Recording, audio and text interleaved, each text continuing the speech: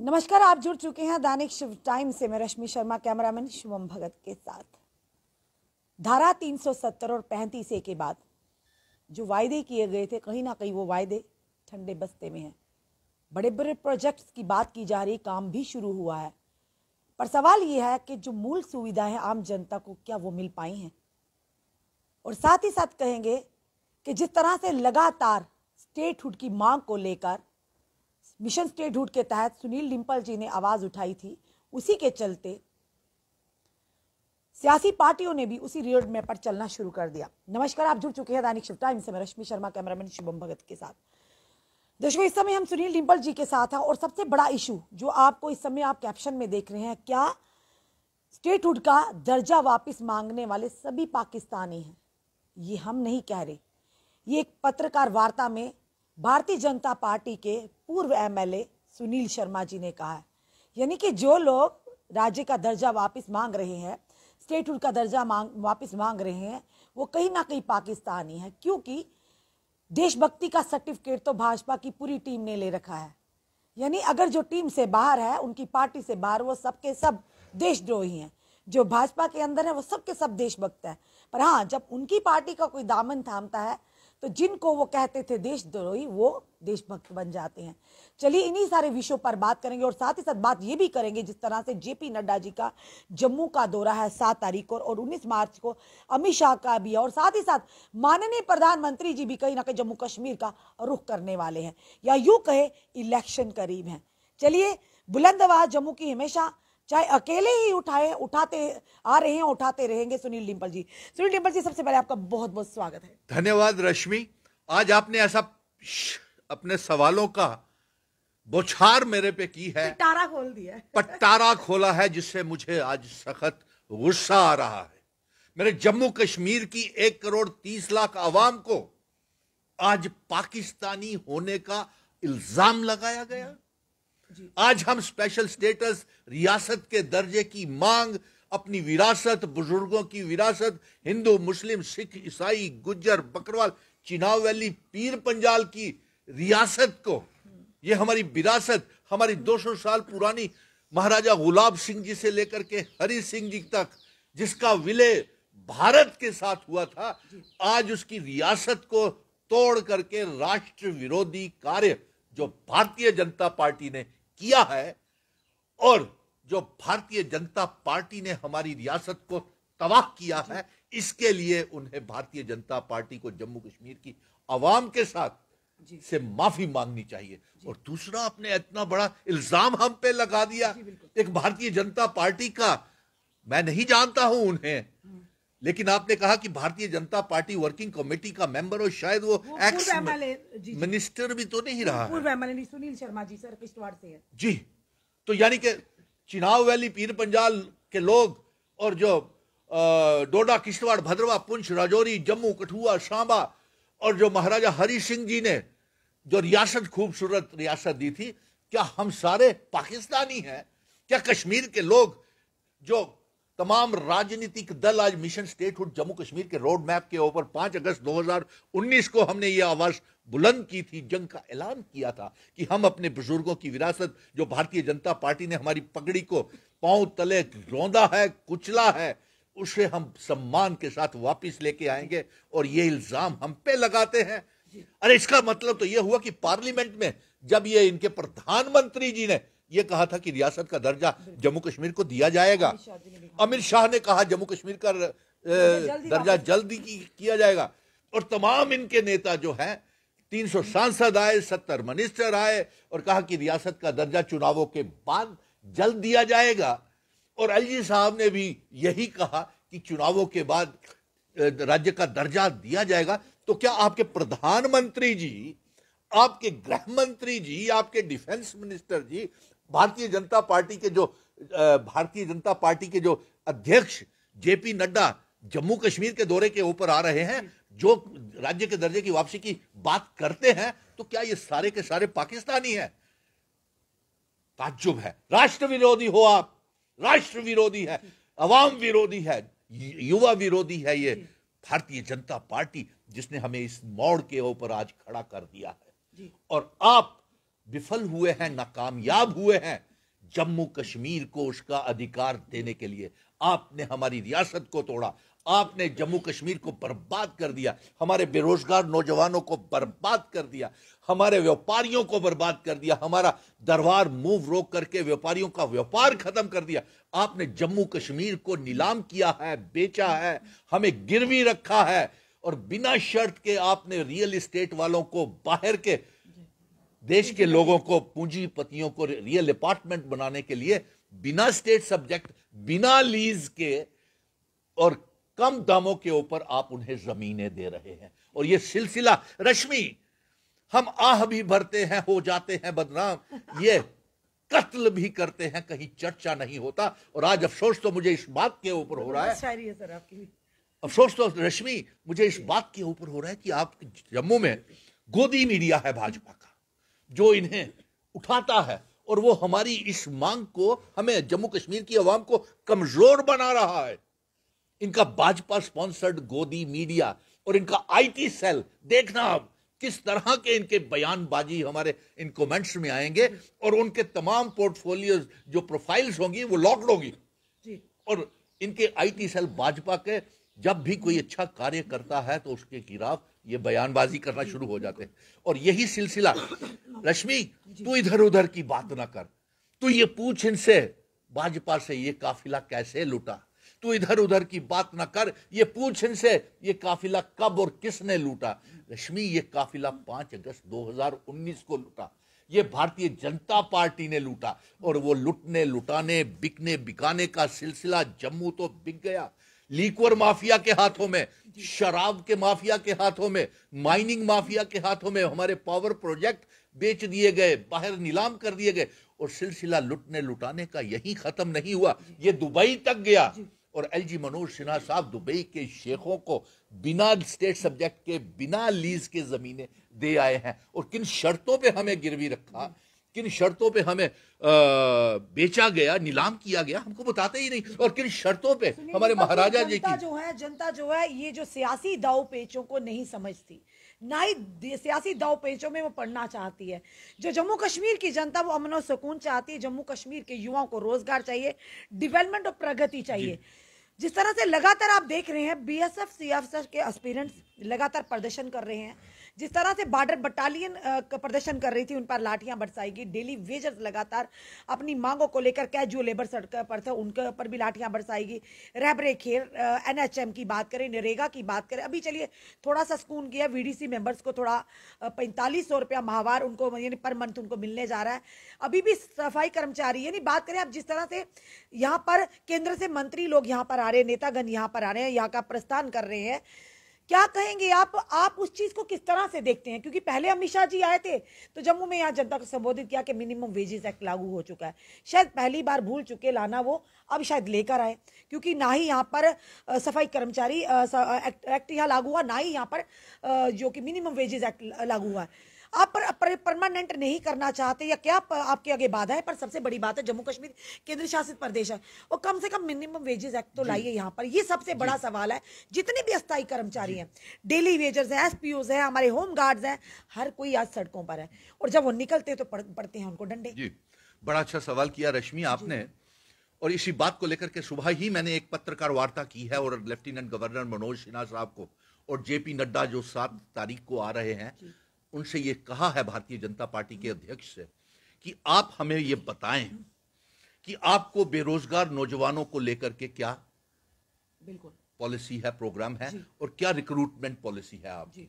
क्योंकि 30 लाख बेरोजगार नौजवान हमारा 370 छीनने के बाद हमारी रियासत तोड़ने के बाद हमारा स्टेटस सब्जेक्ट छीनने के बाद जम्मू कश्मीर में जम्मू और कश्मीर में 30 लाख बेरोजगार नौजवान हो गए हैं। और अफसोस की बात तो यह है आपने जो मिनिमम वेजेस एक्ट लागू हुआ मिला किसी को? नहीं मिला। 300 सांसद 70 मिनिस्टर दौरा लगा करके चले गए 370 कुछ मिला? नहीं मिला। और अब हमने ये कहा है इनसे कि आप जम्मू कश्मीर को नीलाम कर दिया बेच दिया हर रोज तुगलकी फरमान जारी करते हैं फतवे जारी करते हैं और नीलाम तो आपने शराब की दुकानों को कर दिया शराबी माफिया को कर दिया लेकिन जब हम अपने, मेरे बच्चे, बेरोजगार नौजवान, बॉर्डर बटालियन के बच्चे C I S F B S F home guard S home guard ओज डेंटल सर्जन जितने भी पढ़े लिखे जे के एस एस बी की आपने पोस्टें विड्रॉ कर ली, पब्लिक सर्विस कमीशन की पोस्टें आपने विड्रॉ कर ली है। और अब जब भी वो मेरे बच्चे जाते हैं सड़कों के ऊपर अपनी मांगे मनाने के लिए तो आप उन्हें बालों से पकड़ पकड़ करके नोच करके जेलों में भरते हैं उन्हें बसों में भर के ले जाते हैं लाठी चार्ज बेरहमी से करते हैं। डॉक्टर्स तक को आपने छोड़ा नहीं डेंटल सर्जन को आपने मारा। और बॉर्डर बटालियन के साथ तो इतना बड़ा आपने धोखा किया है भारतीय जनता पार्टी की सरकार ने। बताइए एक रक्षा मंत्री राजनाथ सिंह ने 2018 में बॉर्डर बटालियन की दो भर्तियाँ करने के लिए कहा। पच्चीस हज़ार बच्चे सेलेक्ट हो गए।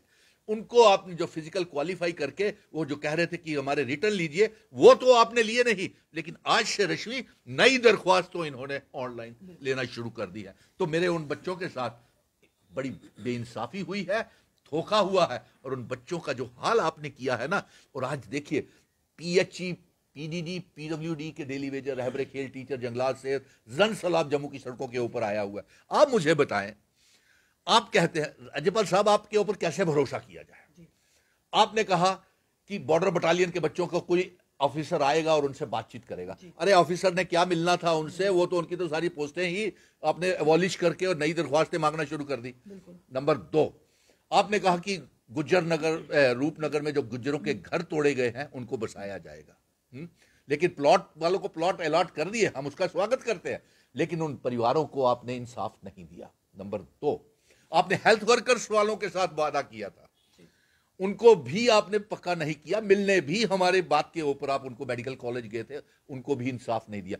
क्लास फोर की भर्तियाँ जो हैं, वो आपने जो पचासी सौ पचहत्तर पोस्टें थी, उनमें से पाँच हज़ार ही बच्चे लगाए हैं, बाकी के तीन हज़ार पुलिस वेरिफिकेशन सीआईडी और तमाम वेरिफिकेशन करने के बाद भी उनको अभी अपॉइंटमेंट लेटर्स नहीं मिली है। भरोसा आप पे कैसे करें? अब आप कहते हैं कि पीडीडी के बारह हज़ार डेली वेजरों को आप पक्का करेंगे?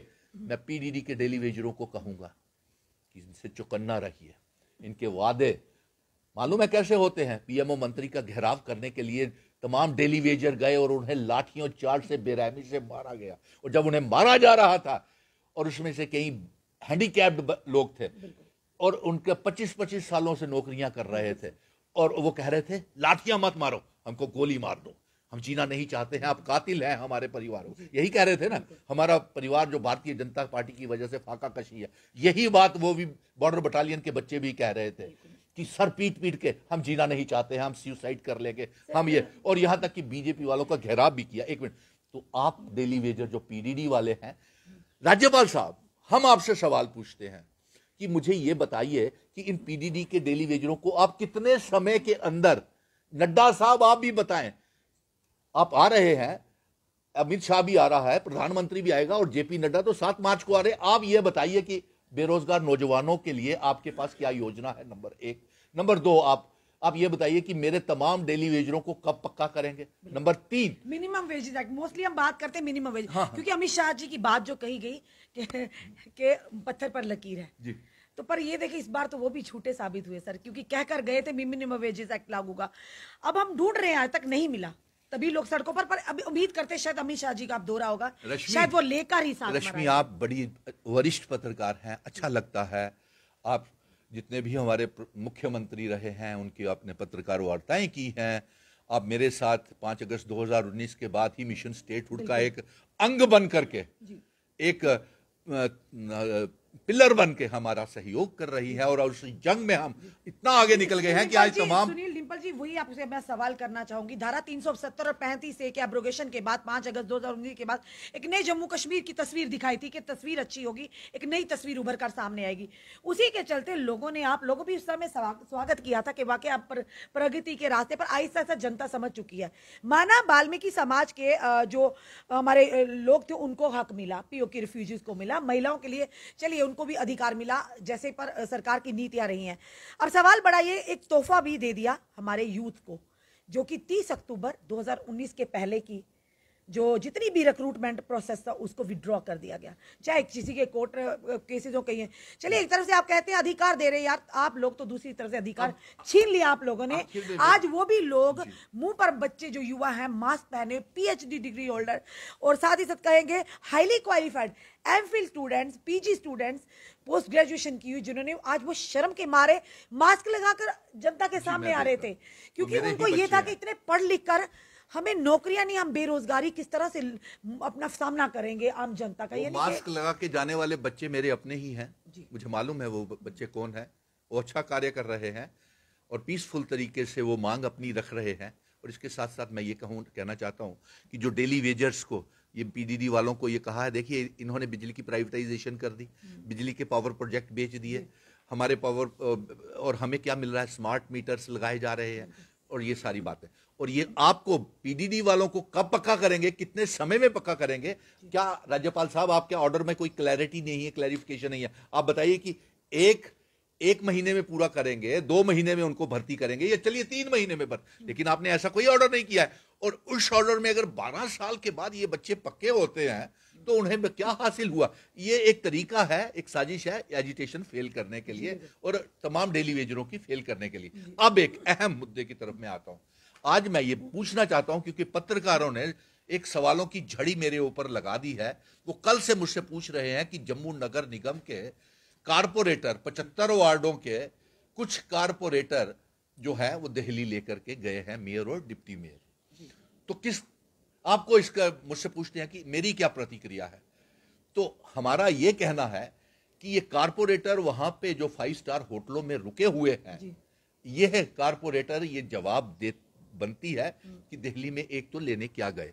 क्या आप इनमें से जो बीजेपी के कारपोरेटर नहीं है, क्या वो बीजेपी इनको फुसला बुसला के फिर अपनी पार्टी में बुलाना चाहती है? या इनसे कोई ऐसी बातें करवाना मनवाना चाहती है जो वो गलतियाँ भाजपा कर चुकी है? जिसमें से वो गलतियाँ मैं आपको बता देता हूँ। क्या ये कारपोरेटर, जो कारपोरेशन ने ये जो रेजोल्यूशन पारित किया था कि महाराजा हरि सिंह जी के जन्मदिन की छुट्टी का ऐलान होना चाहिए। क्या ये छुट्टी लेकर के वहाँ से आएँगे? हाँ? और साथ में, क्या ये कारपोरेटर ये जो स्मार्ट मीटर जम्मू में लग रहे हैं, जो शराब की दुकानें खुल रही हैं, क्या इसको बंद करवा सकेंगे? क्या ये जो जम्मू को नीलाम किया गया है, बेचा गया है बिना स्टेट सब्जेक्ट के, बिना डोमिसाइल के और बिना लीज के जो बेचा गया है, बाहर के पूंजीपतियों को, अपार्टमेंट बनाने वालों को, और साथ में जो हमारी एग्रीकल्चर लैंड को इंडस्ट्रियल लैंड में बदला जा रहा है, क्या ये वहाँ से मनवा करके लाएँगे कि इसमें जितने भी बच्चों को नौकरियाँ मिलेंगी, हमारे जम्मू कश्मीर के बच्चों को नौकरियाँ मिलेंगी? तो हम कैसे, क्या ये हमारे यहाँ पे बिजली के किराए, पानी के किराए कम करेंगे? अरे भाई, सौ सौ रुपया घर गरीब लोगों से आप इकट्ठा करते हो हर महीने। परिवारों से, घरों से। चार चार, पाँच पाँच सौ रुपया आप दुकानदारों से, होटल वालों से, रेस्टोरेंट वालों से दो दो हज़ार रुपया लेते हैं। टैक्स पेड मनी के ऊपर फाइव स्टार होटल में वहाँ पे ठहरे हुए हैं। आप बताएँ, क्या ये सारी चीज़ें आपकी मानी जाएँगी? क्या आप डेली वेजरों को पक्का करवा सकोगे? क्या आप बॉर्डर बटालियन के बच्चे सीआईएसएफ बीएसएफ के बच्चे जो बेरोजगार हैं, उनके लिए कुछ लेके आ सकोगे? अगर आपने जम्मू जब आना है वापस तो जम्मू की जनता ये पूछ रही है सवाल। कि ये कारपोरेटर गए क्यों? और फिर कारपोरेटर कौन सी कोई इतनी बड़ी चीज़ होती है? उनको अगर प्रशिक्षण या कोई शिविर कैंप ही करना था तो जो जिन्होंने सिखाना था वो चार लोग जम्मू में आ जाते कन्वेंशन सेंटर में उनको प्रशिक्षण दे सकते तो ये बातें हैं जिसका सवाल जो है क्या आप रियासत का दर्जा वापस ला सकते हैं? क्या जो जम्मू की अवाम और पूरे जम्मू आज आज तो ए, एक शब्द भी आ गया है कि जो मिशन स्टेटहुड पर यहाँ पर तो कहीं नहीं हमें दिख रहा कि पाकिस्तानी लिखा हो सर। आप तो हमेशा देशभक्त की बात करते देशभक्ति की बात करें। पर ये किसने अधिकार दे दिया? भाजपा के नेताओं को भाजपा के कार्यकर्ताओं को जो भी इस तरह की या तो उनकी कभी कभी जुबानें काफ़ी फिसलती हैं। स्लिप ऑफ़ टंग कभी हो जाता है। काफ़ी बार हुआ है स्लिप ऑफ़ टंग ये आपने भी देखा है। और साथ ही साथ अब ये कहा गया कि जो भी मिशन स्टेटहुड की मांग कर रहा है वो पाकिस्तानी है। यानी हिंदुस्तानी होने का सर्टिफिकेट सिर्फ़। सुझाव दूँगा कि ये आप सवाल ना मैं इनके चंद नेताओं के नाम गिनवाता हूँ। जी। आप ये सवाल उनसे ज़रूर पूछिएगा। ज़रूर पूछेंगे जो कांग्रेस के नेता भाजपा में गए हुए हैं क्योंकि भाजपा की अपनी भारतीय जनता पार्टी की आइडियोलॉजी तो रही नहीं। ये कॉकटेल पार्टी बन गई है इसका कांग्रेसीकरण भी हो गया नेशनल कॉन्फ्रेंसीकरण भी हो गया पीडीपी करण भी हो गया और ना जाने कौन कौन सी पॉलिटिकल पार्टियों के लोग इनमें चले गए हैं ठीक है? हर रोज ही गए होते हैं। और ये गोदी मीडिया है जो गुमराह कर रहा है लोगों को मिसलीड कर रहा है और इनकी खामियों को गलतियों को छुपा रहा है। कौन किस गोदी मीडिया की सर आप बात वो हैं? वो सारे जानते हैं। किस जब गोदी मीडिया की आप रश्मि को छोड़ के जम्मू कश्मीर के सारे अवाम जानती है वो उस गोदिया मीडिया को पहचान और वो शायद अपने जाती मफाद के लिए या कोई कुछ मेंबर्स बनना चाहते हो या कोई बहुत सी बातें हैं इसमें।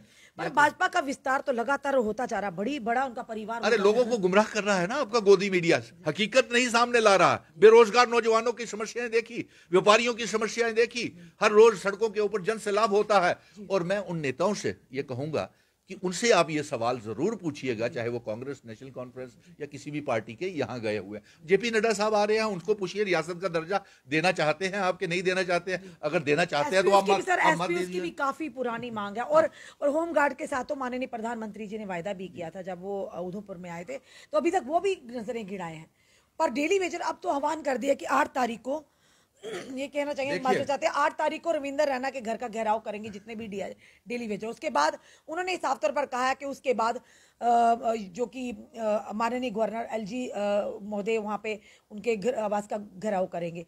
तो आखिर घेराव ही घेराव होते रहेंगे तो फिर जब काम नहीं करेंगे तो अवाम की आवाज़ नहीं सुनेंगे व्यापारियों की आवाज़ नहीं सुनेंगे बेरोजगार नौजवानों को आप लाठी चार्ज करेंगे उनको नौकरी नहीं देंगे और ऊपर से कहें आप पीस है नॉर्मेलिसी है डेवलपमेंट हो रही है, बच्चे खुश हैं, रोज़गार मिल रहा है।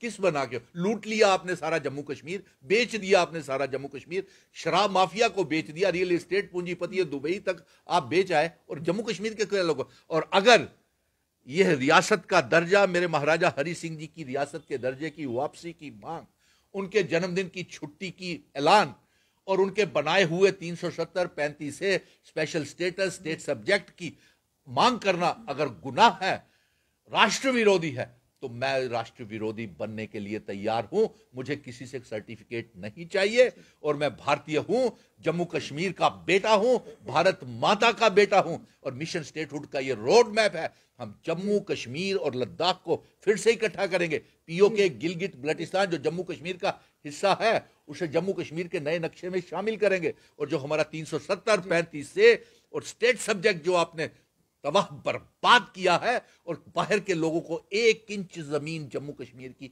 नहीं लेने देंगे। और बाहर के रोज़गार नौजवानों को जम्मू कश्मीर की सरकारी नौकरियों में नहीं जगह देंगे। और साथ में हम जम्मू के जो लोकल आईएएस आईपीएस ऑफिसर के ऑफिसर्स हैं उनकी बहाली चाहते हैं जो बाहर के लाए हुए हैं इन्होंने उन्हें वापस ले जाए। आखिरी सवाल आपसे करेंगे समय ज़्यादा ना लेते हुए क्योंकि समय की कमी रहती है कहीं ना कहीं हर एक का समय बहुत ही कीमती होता है। आखिरी सवाल आपसे ज़रूर करेंगे कि जिस तरह से जेपी नड्डा जी जम्मू का दौरा करने वाले अमित शाह जी करने वाले और माननीय प्रधानमंत्री क्या कहिए इलेक्शन के लिए यहाँ पर गतिविधियाँ शुरू हुई या कुछ लेकर आ रहे हैं जम्मू कश्मीर के युवाओं के लिए जनता के लिए देखिए इनकी पूरी की पूरी कोशिश है कि किसी ना किसी तरीके से चोर दरवाजे से चाहे डिलिमिटेशन का दरवाज़ा हो उस दरवाजे के रास्ते से अंदर जाएँ।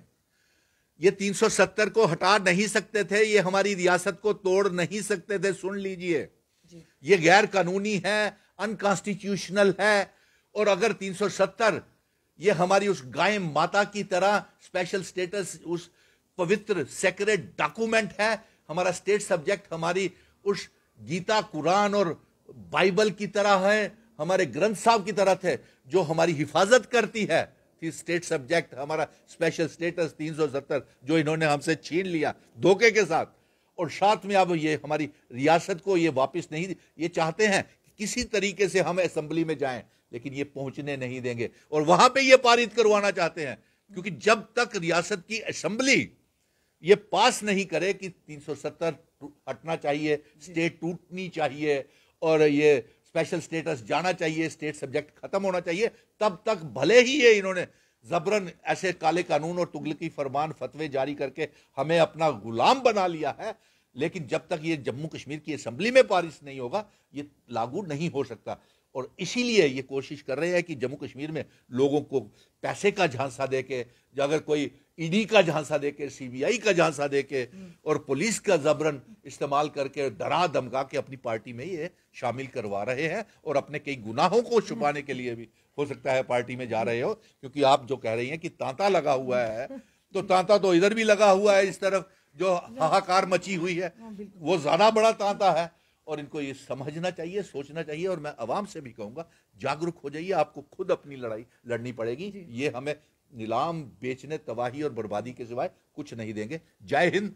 जय भारत। धन्यवाद सुनील जी हमारे साथ जुड़ने के लिए। दर्शकों, हमने ये थे सुनील, डिम्पल मिशन स्टेटहुड के प्रधान जो लगातार 370 धारा 370 और पैंतीस ए के एब्रोगेशन के बाद इन्होंने एक ही आवाज़ उठाई है कि हमें राज्य राज्य का दर्जा वापस मिला। कहीं ना कहीं हमारे राजो, महाराजों की पगड़ी का सवाल है। और वहीं दूसरी तरफ़ इन्हीं के रोड मैप पर सियासी पार्टियों ने भी आवाज़ उठाना शुरू करी। सियासी पार्टियों ने, बल्कि आम जनता ने भी आवाज़ उठाना शुरू की, क्योंकि आहिस्ता आहिस्ता महत्व समझा कि आखिर स्टेटहुड का दर्जा खोने से? कितनी बड़ी, कहीं ना कहीं जम्मू वासियों की परेशानियों का कारण बना है। और साथ ही साथ बताना चाहेंगे जिस तरह से जेपी नड्डा जी का और अमित शाह और माननीय प्रधानमंत्री या जम्मू जम्मू का दौरा इन्होंने यही कहा कि उनका दौरा जो है सिर्फ़ दौरा ही है। जनता उनसे उम्मीद ना लगाए लोगों को उत्सुकता इनके दौरे से नहीं है।